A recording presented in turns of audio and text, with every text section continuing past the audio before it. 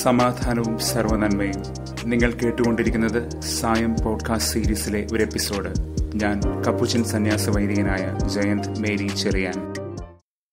പൗലോസ് ബർണബാസിനൊപ്പം തീത്തൂസിനെയും കൂട്ടിക്കൊണ്ട് വീണ്ടും ജെറുസലേമിലേക്ക് കയറിപ്പോയി എന്നൊരു പ്രസ്താവം കൊണ്ടാണ് ഇന്ന് ശ്രീഹായുടെ ഓർമ്മക്കുറിപ്പുകൾ തുടരുന്നത്. ഗലാത്തിയർ രണ്ട്. ഈ ദിവസങ്ങളിൽ നാദം ജെറുസലേമിലേക്കുള്ള യാത്രയിലായിട്ടാണല്ലോ ലൂക്കാസ് വിശേഷകൻ വിവരിക്കുന്നത്.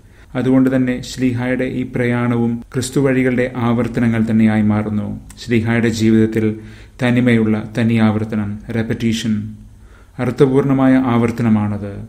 ഓരോ ആവർത്തനത്തിലും അത് പുതുമയണിഞ്ഞ് മെച്ചപ്പെട്ടുകൊണ്ടേയിരിക്കും. കുറെ കൂടി ക്രിസ്തുവിന്റെ അടുത്തേക്ക് അത് ഓടിച്ചെല്ലുകയാണ്. അതുകൊണ്ട് തന്നെയാണല്ലോ തന്റെ വിശ്വാസത്തിന്റെ ഈ പ്രയാണങ്ങളിൽ ഉൾച്ചേർന്നിരിക്കുന്ന അധ്വാനത്തെ ശ്രീഹ ഓട്ടം എന്നൊരു പദം കൊണ്ട് കുറിക്കുന്നത്. തന്റെ ഓട്ടം വ്യർത്ഥമായി പോകാതിരിക്കാനെന്ന് കഴിഞ്ഞ രണ്ട് ദിവസങ്ങളിൽ നാം ധ്യാനിച്ചു വരുന്നതാണ് ദൈവത്തോടൊപ്പം ഓടുന്ന അവിടുത്തെ സ്നേഹിതരെ വചനത്തിന്റെ ശുശ്രൂഷകരെ കുറിച്ച് ക്രിസ്തുവിൽ നമ്മൾ അനുഭവിക്കുന്ന സ്വാതന്ത്ര്യത്തിന് തടയിടാനും തങ്ങളെ ആചാര നിയമങ്ങൾക്ക് അടിമകളാക്കാനും തുനിയുന്ന ചില വ്യക്തികളെക്കുറിച്ചും ശ്രീഹ പരാമർശിക്കുന്നുണ്ട്. ശ്രീഹ ജെറുസലേമിലേക്ക് കയറിപ്പോകുന്നത് ദൈവിക വെളിപാടിന്റെ ഉണർവിലാണ്. സുവിശേഷം തന്നെയാണ് ഈ ദൈവിക വെളിപാടെന്ന് ശ്രീഹ പറഞ്ഞിട്ടുണ്ട്. അതുകൊണ്ട് തന്നെ ശ്രീഹായുടെ ഈ ജെറുസലേം യാത്ര സുവിശേഷത്തിന്റെ ജീവനമായി തീരുന്നു എ ലൈഫ് ഓഫ് ഗോസ്പെൽ ശ്രീഹായുടെ കൂടെ യഹൂദനായ ഭരണബാസും വിജാതിയനായ തീത്തൂസുമുണ്ട്.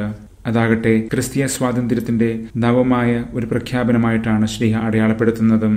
യഹൂദരും വിജാതീയരും തമ്മിൽ വ്യത്യാസമില്ലാതെ ക്രിസ്തുവിൽ ഒന്നായി ചേർന്നിരിക്കുന്നതിനെക്കുറിച്ച് ജെറുസലേമിലെ ശിഷ്യപ്രമുഖർ പൗലോസിന്റെ മേൽ ദൈവം ചൊരിഞ്ഞിരിക്കുന്ന കൃപാധിക്യങ്ങളെ അറിയുന്നുവെന്നും അവന്റെ സുവിശേഷ പ്രയാണത്തെ അവർ കാണുന്നുവെന്നും ഇവിടെ പറഞ്ഞു വയ്ക്കുന്നുണ്ട് അറിയുക കാണുക. വചനം ഉടലാർന്നവനോട് ക്രിസ്തുവിനോട് നാം കാണിക്കുന്ന സ്നേഹത്തിന്റെയും വിശ്വാസത്തിന്റെയും പ്രതികരണങ്ങളെ കുറിക്കാൻ ഉപയോഗിക്കുന്ന വാക്കുകളാണിത്. മാതൃസഭയായ ജെറുസലേമിലെ സഭയും പിന്നീട് ഉടലെടുക്കുന്ന വിജാതീയ ദേശങ്ങളിലെ സഭയും തമ്മിലുള്ള ബന്ധത്തെ ആചാരപരമായ നിബന്ധനകളെ ചൊല്ലി അസ്വസ്ഥമാക്കുന്ന ചിലർ കളം വാഴുന്ന ഒരു കാലത്താണ് ഈ ലേഖനം എഴുതപ്പെടുന്നത്.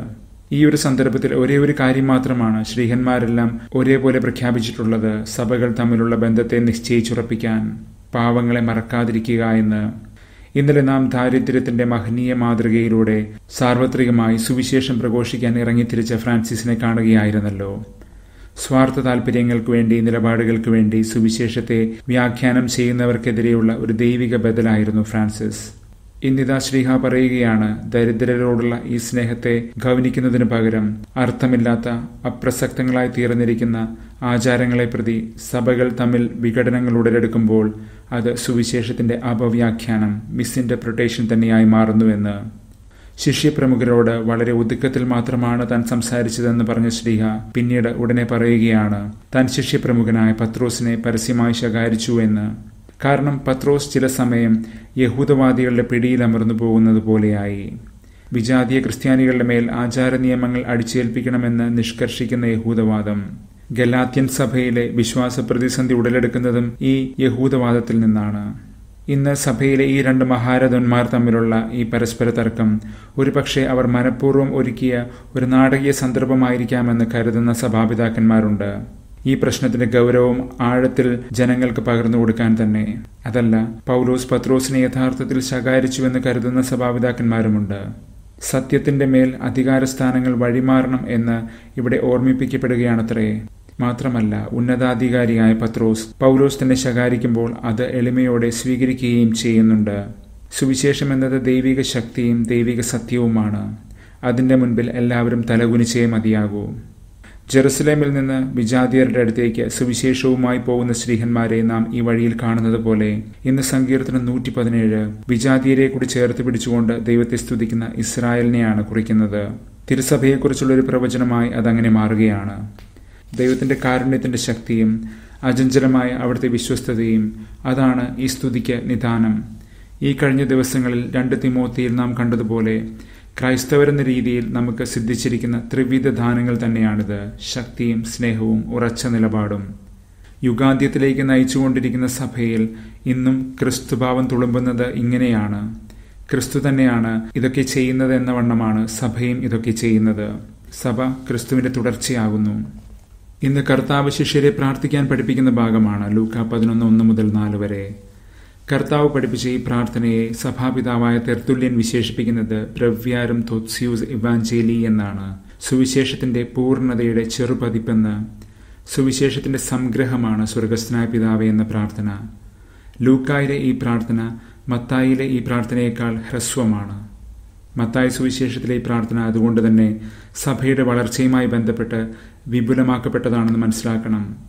സഭ ക്രിസ്തുവിന്റെ തുടർച്ചയെന്ന നിലയിൽ ക്രിസ്തുവിനെ പോലെ പ്രാർത്ഥിക്കണമല്ലോ. ക്രിസ്തുവിനുണ്ടായിരുന്ന അതേ മനോഭാവത്തോടെ. അതുകൊണ്ട് തന്നെ മതാചാരങ്ങളുടെ അന്തസത്തയെ വിശകലനം ചെയ്യുന്ന ഒരു ഭാഗത്താണ് മത്തായിയിൽ ഈ പ്രാർത്ഥന കടന്നു വരുന്നത് മത്തായി ആറ്. വിജാതിയരുടെ ഇടയിൽ ശീലമുള്ളതുപോലെ അതിഭാഷണം ചെയ്യുന്നതോ അർത്ഥമില്ലാതെ ആവർത്തിക്കുന്നതോ ആയിരിക്കരുത് പ്രാർത്ഥന എന്ന് നാഥൻ ഇവിടെ ഓർമ്മിപ്പിക്കുകയാണ്. ക്രിസ്തുവിന്റെ ആവർത്തനമാണ് ക്രിസ്തു ശിഷ്യൻ എന്ന് നാം ആദ്യമേ കാണുകയായിരുന്നല്ലോ. അതുകൊണ്ട് തന്നെ പ്രാർത്ഥനയുടെ നിയമം ജീവിത നിയമമാണെന്നിരിക്കെ ലെക്സ് ഒറാന്തി ലെക്സ് ക്രതേന്തി ലെക്സ് വിവേന്തി ഇന്ന് നാഥൻ പഠിപ്പിക്കുന്ന ഈ പ്രാർത്ഥന അർത്ഥമില്ലാത്ത ഒരു ആവർത്തനം പോലെ ചൊല്ലേണ്ടതല്ല. അത് വാക്കുകളുടെ വിരസവും വികലവുമായ ആവർത്തനവുമല്ല. പകരം അതിന്റെ ഉൾക്കാമ്പിൽ നാഥൻ ചേർത്ത് വച്ചിരിക്കുന്ന വിശ്വാസവിത്തുകളുടെ വചനഭാവങ്ങളുടെ അനുവർത്തനത്തിലേക്കും ആവർത്തനത്തിലേക്കും നാം കടന്നുപോകണം. കാരണം ഇത് യുഗാന്ത്യോന്മുഖമായ ഒരു പ്രാർത്ഥനയാണ്. ഒരേ സമയം ഈ യുഗത്തെയും യുഗത്തിന്റെ അന്ത്യത്തെയും അത് സ്പർശിക്കുന്നു.